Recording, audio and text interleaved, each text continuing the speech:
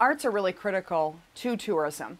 And in 2011, the Wisconsin Arts Board merged with the Department of Tourism. So it was only natural that we needed to really identify leaders in the arts world. The Governor's Awards, as they relate to tourism, literally in our industry, are the cream of the crop. It's the highest honor that you can receive.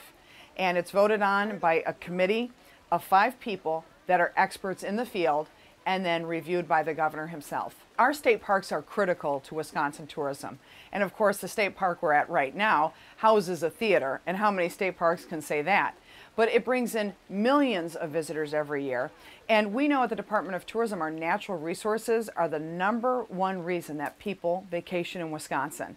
So they're absolutely critical to our state. There's a lot of partnerships in our state parks, but I am not aware of anyone that does anything like American Folklore Theater in Peninsula State Park. It really is in a class by itself. And what has been achieved by this partnership is unbelievable. I mean, for 22 years, AFT has entertained thousands of guests under the stars. But what an experience. And we know when a visitor has that kind of experience, they will come back over and over again. American Folklore Theater is a creative soul.